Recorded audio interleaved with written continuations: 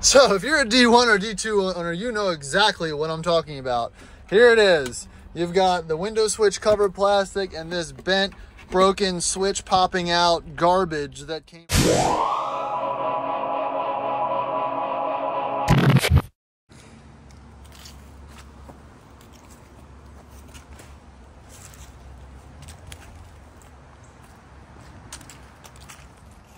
All right, howdy, and welcome back to the Addicted Motors YouTube channel. I finally got a new phone that uh, does shoots a little more HD, so you might be getting me in high def, which might be a bad. So today's disco, well, today's disco. Today's video is going to be disco oriented, but in the meantime, I'll go through what's been going on and where my cars are and kind of where the fleet is at these days. But before we do that, thanks for watching these videos. Please like, subscribe, do all that fun YouTube stuff, as I always say, and please check out the rest of my videos. I've got hundreds of videos, most of them Land Rover based, some of them are not Land Rover based, DIY videos, quick fixes, and all that other stuff that goes along with owning a fleet of old crappy cars.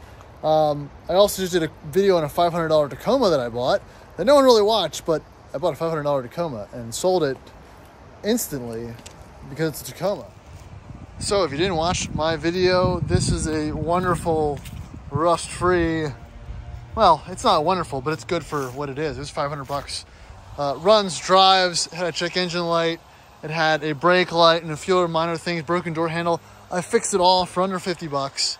Um, it's beat up, but there's no rust it's from Oregon. And uh, posted it on our Marketplace and it was gone. I don't know, within six hours, guy just paid me for it. So sold for 2,800 bucks. So nice little profit on the Toyota. It's a five speed. Um, again, real beat up, but what can you say? That's awesome. The next one on the list was the Ford. Check out my new uh, Rover Woods badges, uh, at least for license plates for the trucks. They look pretty sweet. Uh, that was just a Vistaprint thing. If you want one, let me know. They're not cheap for some reason, but just had the oil change, the 300,000 mile oil change completed on this since the motor was completely rebuilt um, about six months ago. So we have new oil, um, what drips out from that thing? I don't know. Uh, new transmission fluid, made a huge deal, and finally a new diff cover because it had been leaking since I bought it, and I just didn't think it was that big of a deal. Uh, but I finally got it fixed because I'm tired of adding. I mean, it was getting bad towards the end. I would have to add diff fluid every time. I used it, you know, I, I can only put it with so much. So that's the truck. Well, you can guess which one this is. Yep, classic. Still there, still runs, still awesome. But let's get back to this video. Golden Rovers. Let's check it out.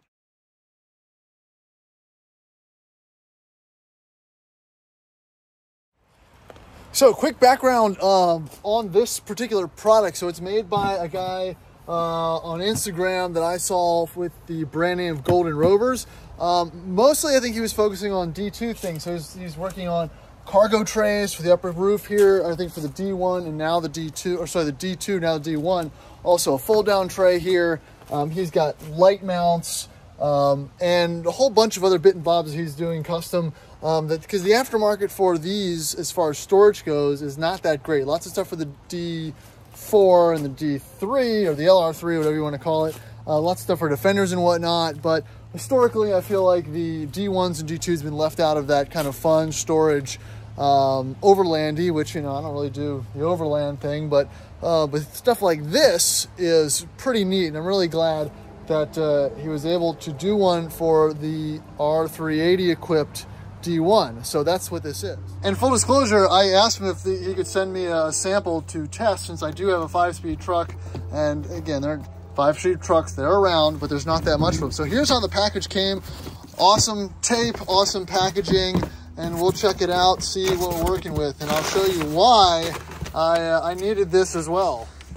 Custom note from, uh, from Daniel, and also look, fully articulated for all trucks installation manuals as well. So we'll be going through this as well, uh, because this will really cure a major problem that I have. So we'll, uh, we'll peruse that later.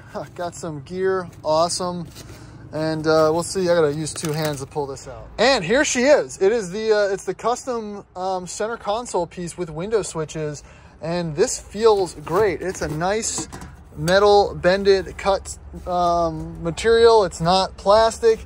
Again, I, I've got a trail truck. This is a trail truck. I want everything to be functional, durable, usable, not breakable. I don't want any wood. I don't want any fuzz, anything, no other plastics. You know, this is supposed to be a rough and tough truck.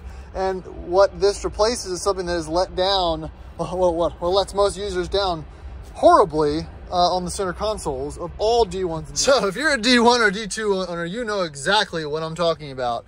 Here it is. You've got the window switch covered plastic and this bent, broken switch popping out garbage. Factory. I mean, this is hilarious that that uh, anyone would would assume this holds up to any normal abuse. It absolutely doesn't. There's so many things in behind here, like the e-brake adjustment and uh, little ECUs and the window switch features that this just comes on and off. My kid will crawl in here, step on this, step on this, you leave some drinks. It's just, a, it's a mess. So what I'll do now is I'll pull these cup holders out. I'll undo the uh, the shifter cover and the boot. Same with the uh, low range uh, boot as well. And we'll go ahead and throw this in uh, and we'll cut to uh, the installation because it seems pretty simple. Right, so let's uh, start by removing everything that I have on my um, disco. Like I said, everyone will have a different setup here, but this is a, uh, a good place to start. I don't think there'll be a lot of D1s with the cup holders, but I added them.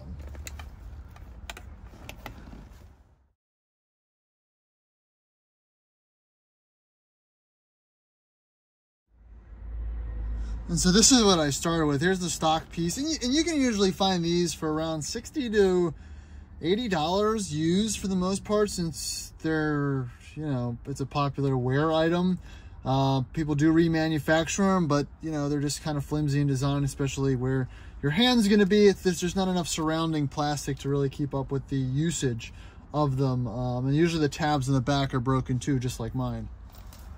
All right, the next thing is it comes with uh, new clip nuts and screws, which is uh, is pretty important since mine are uh, mostly busted. And uh, I just lost one. Awesome. Oh, no, there it is. And a Cheerio. Thank you, Max.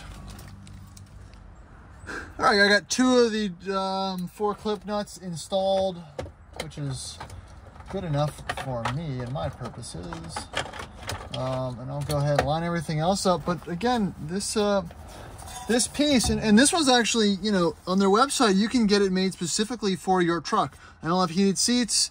I just have power windows in the lock, so no extra open holes or anything like that. It's pretty awesome. It's nice to have things um, able to be modified specifically for your truck if needed. All right, so we will drop this in. I'll probably put the switches in first. Okay, here's where I'm at. So this is the old backing plate. Here's the new plate cover. Um, we're gonna get this kind of aligned and plugged back in and, uh, and bolted, you know, back into the car here in a second. All right, so everything get everything aligned and in place, just tighten it up and uh, you can start putting the, everything back together.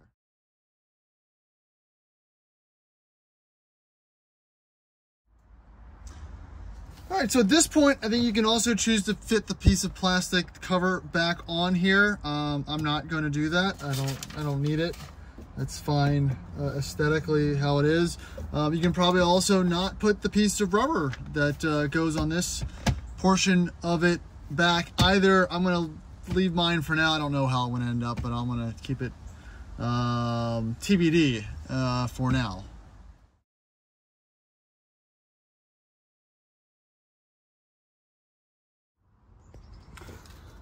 All right, so again, that's that's the after. Nice and solid construction. Everything fits very well. There's no adjusting or cutting or any after, you know, after the fact BS that's involved in this type of install. Um, and I'm pretty impressed with the product for the price point and everything. It's a, it's a good little add-on um, if you've got, you know, uh, these switch issues and want to just uh, kind of upgrade from uh, what your plastic brittle interior looks like. And it's not just this product. He's got a lot of other stuff. So that being said, I'll link um, his website. Here's the logo and everything. He's on Instagram at Golden Rovers. Um, you know, go check out his website. Again, he's got everything for D1s and D2s, um, including a lot of storage options and whatnot. So tossing the sticker on the truck.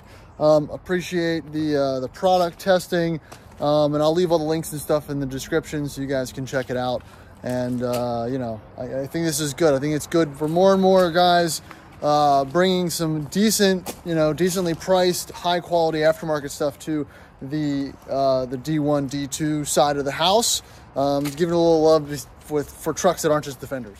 And that's going to be it for this video. Remember to check out the rest of my videos, subscribe, see, you know, any type of Land Rover related content that you're interested in.